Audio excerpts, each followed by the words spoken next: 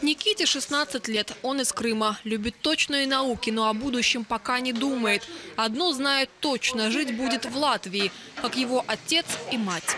Я в Риге две недели. А почему? Ну, я не знаю. Я до этого тут часто с родителями бывал, и вроде как русский язык тут присутствует, ну, ходит, поэтому тут, наверное, легче всего, легче, легче всего адаптироваться было бы. Пару фраз знаю, это лабдиен, и пока что все. В прошлом воспитанник одного из киевских лицеев Денис готовился к экзаменам, когда родители решили поменять страну проживания и выбрали Латвию. С тех пор прошло уже полгода и год с момента самых кровавых событий на Майдане. Тогда, я считаю, тогда это было время национального подъема, тогда, я считаю, мы завоевали то, что нам было подарено в 91 году.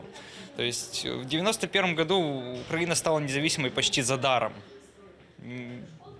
Мы не платили ничего, никакую цену, но жизнь это как супермаркет, то есть все время набираешь, набираешь, а касса-то впереди, платить нужно.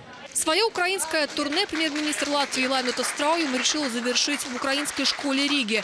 При полном аншлаге провела открытый урок. Также угостила школьников конфетами из Киева, где побывала накануне. Я хочу подарить директору альбом об истории Майдана для школьной библиотеки. Uh. У нас такого нет. Будет у первых. Спасибо.